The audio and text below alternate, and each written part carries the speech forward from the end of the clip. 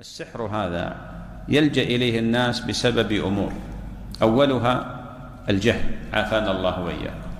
فلذلك تجد الناس يلجؤون إلى السحرة بسبب ماذا؟ الجهل.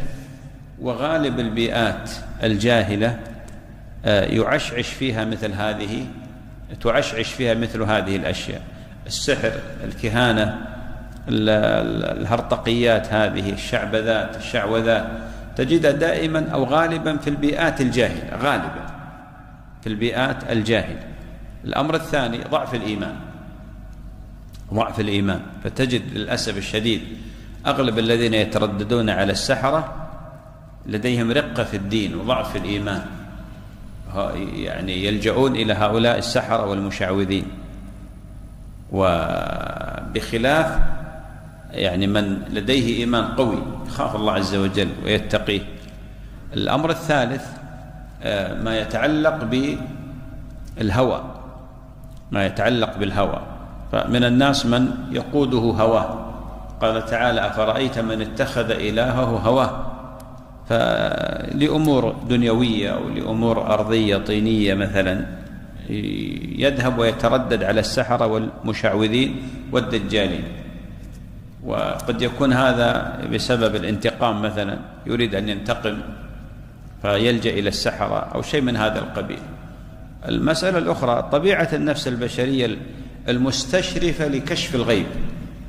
طبيعة النفس البشرية هي مستشرفة لمعرفة الغيب. ولذلك دائما تجد الناس إذا ذكر أمر غيبي أو ذكر أمر كذا يتتبعونه لدرجة يتتبعون تفاصيله ويريدون أن يقفوا على فصوله لأن هذه طبيعة النفس البشرية. فلما يقول الكاهن مثل ما تشوفون الآن ما يسمى بهؤلاء المتنبئين يقولون يحصل في السنة القادمة كذا هؤلاء كذبة دجالون تجد الناس بعضهم يتناقل كلام هؤلاء. يقول لك السنة القادمة ستكون فيها كوارث سيكون فيها كذا وكذا. كذب المنجمون ولو صدق. فتجد أغلب الناس آه، يروج لهؤلاء أو ينقل كلام هؤلاء أو يتتبع تفاصيل هؤلاء. وعلى أقل شيء يعني أقل ما يمكن أن يكون من السوء أن الإنسان آه، يتفرج عليهم مثلا أو يتابع حساباتهم أو يرضى بفعلهم والعياذ بالله. وهذا أمر غاية في الخطورة. ولذلك إذا تأملت في رواج سوق السحرة والكهان والعرافين تجد بأن ما يخرج عن هذه الأسباب. ما يخرج. قد تكون هناك أسباب كثيرة لكن في الغالب ما يخرج عن مثل هذه الأسباب. الهوى الجهل ضعف الإيمان الرغبة في استكشاف الغيب. آه، قد يكون أيضا ما يتعلق بمعرفة الإنسان آه، مستقبله هو. هل هو سعيد أو, أو شقي؟ نسأل الله العافية.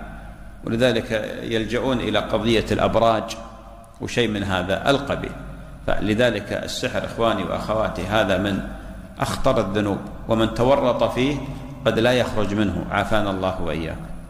من تورط فيه قد لا يخرج منه إلا أن يشاء ربك سبحانه وتعالى. كثير من الناس وقعوا وما خرجوا. وقعوا في السحر وما خرجوا. قد يكون منهم سحرة ومنهم من يتردد على السحر. منهم من يتردد على السحرة.